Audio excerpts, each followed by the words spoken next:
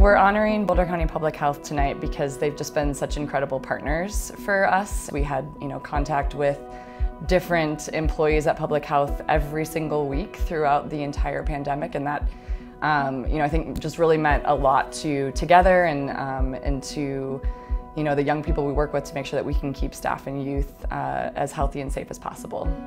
I think this last 18 months has shown us how critical it is to have a coalition. You've got all these things hitting at once. And to be able to find a little mini community within a community for support, I think it was huge. I'm really, you know, grateful to be part of a, a, a bigger, you know, community, a team of people um, working with with together has been very important for our work.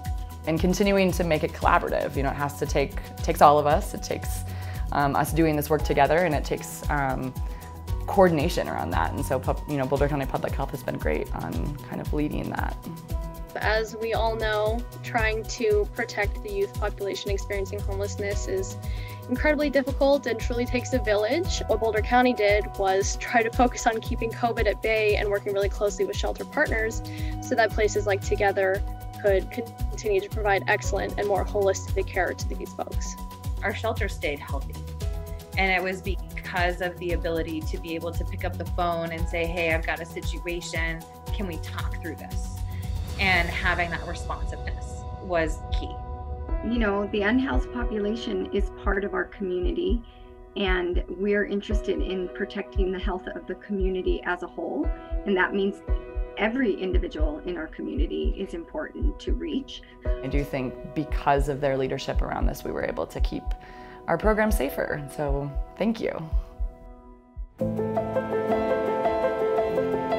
I think it would be uh, tough to talk about our partnership with FUMC without acknowledging that uh, this organization probably wouldn't be in existence uh, without them. It was a group of congregation members and people that were involved in social justice issues at the time from that church, including church leadership, uh, that helped create this organization.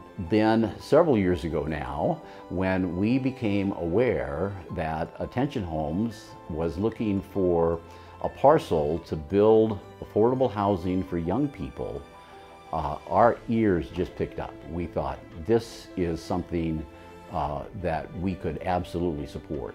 As far as fitting the needs of the church, something that we could do that would be very supportive of the community at large, and then to help together pull this project forward. It was, was like it was just meant to be. FUMC is a leader in this space around how a faith community, a nonprofit, and other partners can come together uh, to solve really big problems. And so let's let them be that beacon for other faith communities, other communities in general, to identify ways to partner, to have that broader mission-based impact and to realize this vision that I think we all collectively share of ending youth homelessness.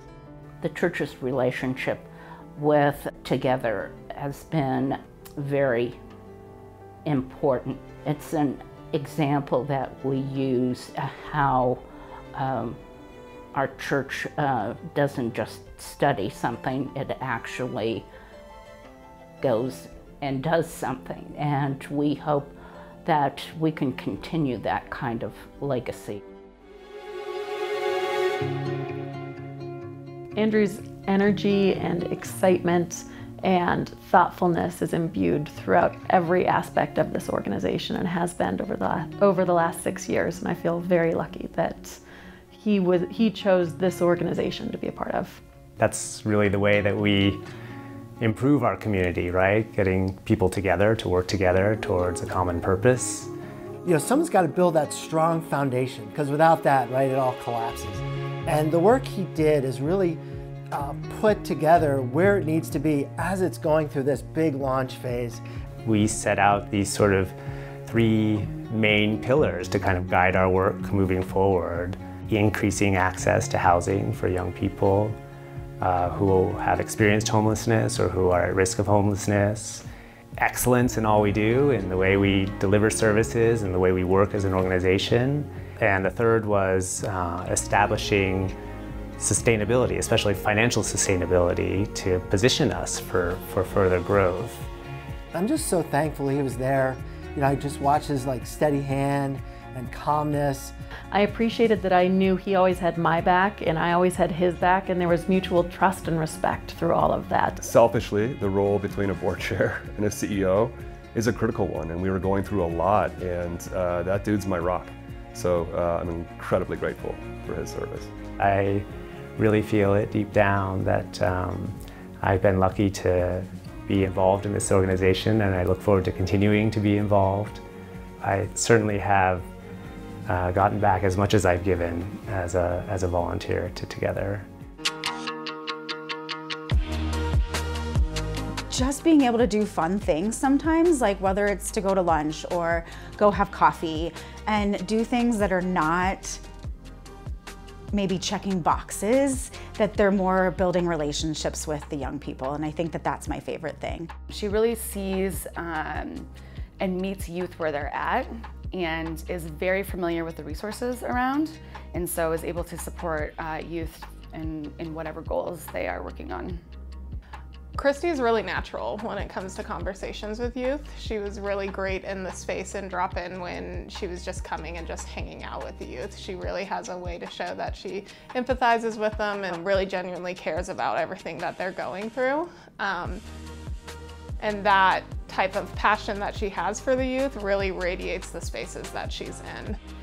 When I first met her, I knew that she wanted to work with youth and she really um, did everything in her power to make that happen. And um, I think that everybody that comes um, in contact with her is, is better um, as a result of being able to connect with her. Uh, the Pathways to Success program has been partnering with Together for uh, over five years now. And so we are able to work together. And I think that that's been the biggest thing is that this youth now has somebody from Together and somebody from the county who are able to help them navigate housing, employment, education, um, well-being, permanency, all of those areas.